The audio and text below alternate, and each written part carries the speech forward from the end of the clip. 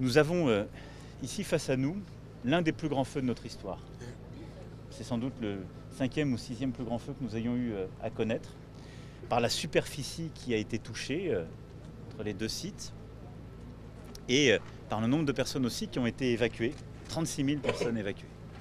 Et malgré ces chiffres très impressionnants, malgré les forces qui ont été engagées, hein, on a environ 2000 pompiers qui sont mobilisés aujourd'hui, on a été parfois jusqu'à 3000 sur euh, l'ensemble des sites de la Gironde. Malgré tout cela, là où je peux dire que vous avez fait un travail d'autant plus exceptionnel, c'est qu'il n'y a pas de victimes. Et, ce que je veux ici aussi dire, c'est que euh, nous savons que la saison maintenant va être longue, parce que les forces ont été très mobilisées, parce que le combat n'est pas terminé. D'abord, ici, les choses vont continuer. Dans les prochaines heures, je l'espère, nous allons confirmer que le feu est maintenant contenu grâce au travail qui a été fait au sol en particulier, euh, travail de nos pompiers, de nos forestiers qui a permis de, pouvoir euh, vraiment faire ces, tranchées et le contenir. Mais on sait que ça va prendre plusieurs semaines pour totalement stabiliser la situation, alors même qu'il y a chaque jour plusieurs départs de feu.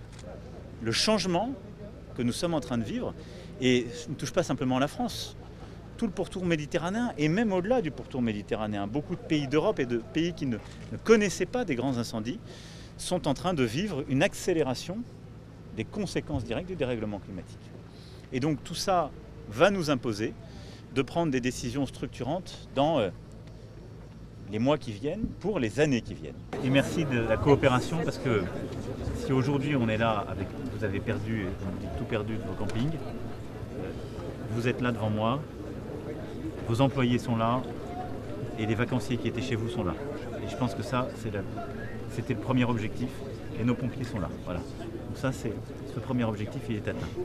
Maintenant, on va stabiliser le feu, on va essayer d'aller au bout et, enfin, on va essayer, on va, on va aller au bout de la victoire. simplement, qu'est-ce qu'on va faire? On va très vite bâtir les règles pour que ce qu'on reconstruise soit tout de suite aux normes. Tout de suite. On est d'accord. Et donc, la seule chose qu'on doit faire, c'est qu'on doit très vite vous dire quelles sont les règles pour prévenir et que on fonce. nous on reconstruit, on est là pour ça. Et moi je suis pour qu'on reconstruise très vite.